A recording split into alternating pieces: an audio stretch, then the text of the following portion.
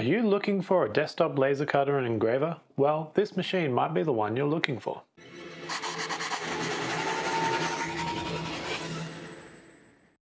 Hello drafters! In this video, we're going to be taking a look at the LaserMaster 3, or LM3 from Ortur. We will unpack it, assemble it, and discuss what it's capable of. I also want to take a moment and thank Ortur for sending me this unit and letting me test it out. Now, Let's get into it. Laser cutting machines like this don't come with their own software. Instead, there is a couple of options you use, one paid and one free. The paid and the one I recommend is an option called Lightburn. You do get 30 days free trial to use it, but after that you'll need to pay about 90 Australian dollars for a lifetime access. The other option, the free option, is called Laser GRBL, which is a free but doesn't have as many features as Lightburn. If you're tight to cash, I recommend just getting Laser GRBL, but if you're serious about using the machine, you probably want to use Lightburn, which is the option I decided to go with. Lightburn has been pretty easy to use, and I was even able to connect and operate to the laser cutter via Wi-Fi network directly through the software, which is really cool. There is also plenty of well-made tutorials online for Lightburn, and even plenty of content specifically using it with the Ortur LM3. So if you're a beginner to the hobby like I am, well, I'm sure you're probably going to be able to find your way through it. Before we continue, I'd like to introduce you to the sponsor of this video, which is PCBWay. There was a time where I would do resin 3D printing at home, but I got to a point where I could no longer deal with the toxic liquid resins and harsh cleaning chemicals, especially with a young family in the home, and that's where I found PCBWay. I could now use PCBWay to print the miniatures without the mess, and honestly, I'm probably just going to sell my resin printer now. But resin printing is not the only thing that PCBWay can do. They have an expert team ready to take your hobby maker projects to a more professional level. PCBWay can do CNC, sheet metal, electrical PCB boards and assembly, and of course 3D printing in various materials including metal. Their online tools allow you to easily upload your project files, specify requirements, and get a quote. So if you're looking to elevate your work or even explore bringing a product to life, I encourage you to take a look at PCBWay and see what they can do for you. Thank you to PCBWay for supporting this channel, and now let's get back to the video content. So how was my experience on my first use with this machine? There is a phone app called Laser Explorer that you can use to connect to the cutter. You can also get the app on the iPad and I found the iPad mini to be the perfect companion when using this app if that's going to be your workflow. The app has the ability to quickly create a project using template icons and I used it to test out my first cut on a sample piece of plywood. Once I had figured out the project scale, position and the laser head's cutting area, I sent the job to the cutter. Because I didn't customize the laser settings correctly, the laser etch didn't etch the wood very well, but it did work. So I did another pass to darken it and this was the result. Unfortunately, I don't have a well ventilated room, so I didn't want to cut or etch something too big and fill my room with smoke. I'll have to wait and invest in some sort of extraction system, and I do have a laser cutting tent around here somewhere that hasn't even been unboxed and it's just waiting to be used. As mentioned before, you can also control the cutter via Wi-Fi directly through Lightburn, which allows for much deeper customization of etching and cutting settings. There is a video on how to use Lightburn with the LM3 over Wi-Fi, which I'll link to the description of this video. But the process was basically to connect the LM3 to the PC using a USB cable, and then you find the IP address, edit some settings in Lightburn,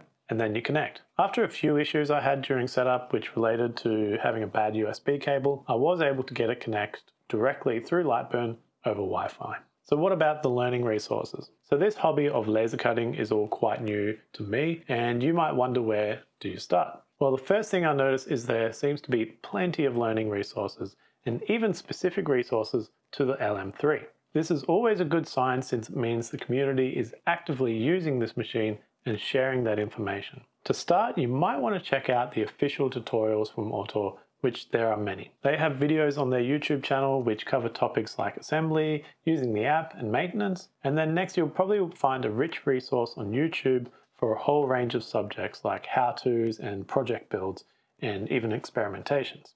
And then finally, you'll want to check out some of the laser cutting community sites. These are sites like Thangs or MakerWorld or Thingiverse but they're focused on laser cutting and engraving projects. Some that I discovered were Instructables and Design Find, but there's plenty more out there. So if you know some others, then let me know in the comments so I can take a look. From learning to making, there's plenty out there for you to do.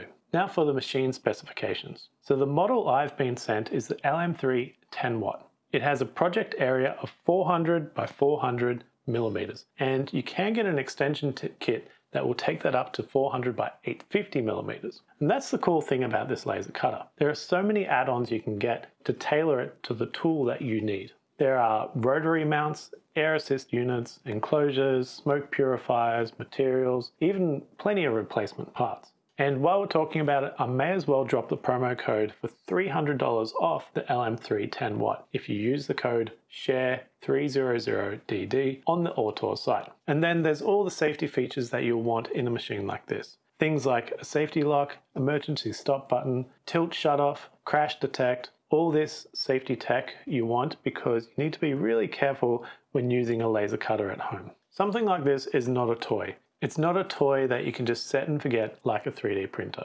So if you're considering one, I strongly encourage you to take just a bit of time learning about the safety and operation of using these machines. One last thing I really like about this machine is that you can upgrade the laser module. So it has some future proofing. So like I said, I have the 10 watt module, but Ortur do have a 20 watt module. And all you need to do is connect a few wires, put on the new laser module and you're good to go. If Ortur decide to send me a 20 watt module after this, I would be glad to do a video on how to upgrade from the 10 watt to 20 watt. And we might even see an even stronger laser module in the future, something like a 40 watt. As for the materials that you can use with this machine, there's a whole bunch that you can work with. Things like wood, leathers, metals, stainless steel, porcelain, a bunch of others, and it'll be a matter of experimenting to see what you can get and the results that you get with these different materials.